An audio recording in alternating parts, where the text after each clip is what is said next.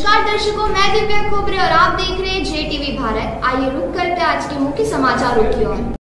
स्थानीय कृषि उपज मंडी पेटलावद में जनजाति विकास मंच द्वारा श्री कृष्ण जन्माष्टमी के शुभ अवसर पर बांसुरी वादन कार्यक्रम का आयोजन किया गया, जिसमें क्षेत्र से कई बांसुरी वादक सम्मिलित हुए तथा अपनी कला का प्रदर्शन किया।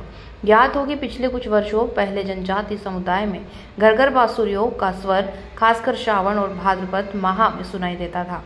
लेकिन वर्तमान परिदृश्य में यह देखने को कम ही मिलता है। जनजाति समाज प्रकृति से नज़दीक होकर वह पूर्णतः प्राकृतिक जीवन जीता है, विगत समय में वह अपने घर में गाय, बेल इत्यादि अधिक संख्या में रखता था।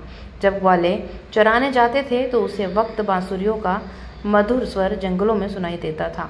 जनजाति विकास मंच जिला कार्यकारिणी सदस्य गौर सिंह कटारा ने कहा कि हमारे जनजाति समाज में अनेकों प्रतिभाएँ हैं जो अपने दैनिक जीवन में उसको मनोरंजन के स्वरूप में भी देखा जाता है। हमारे समाज में प्रतिभाओं की कोई कमी नहीं है, लेकिन वर्तमान की जो पीढ़ी है, वह आधुनिकता को महत्व देकर अपनी परंपराओं को नष्ट होता हुआ देख रहा है। श्री कृष्ण भी ग्वाले थे और वह बांसुरी बजाकर अपना जीवन जीते थे। इसलिए आज जनजाति विकास मंच ने भी जनजाति समाज की जो प्रतिभाएँ हैं, उनको प्रदर्शित करने का अवसर दिया तथा इस तरह की प्रतिभाओं को पुनः जागृत किया जाए, इस उद्देश्य से इस कार्यक्रम को आयोजित किया गया।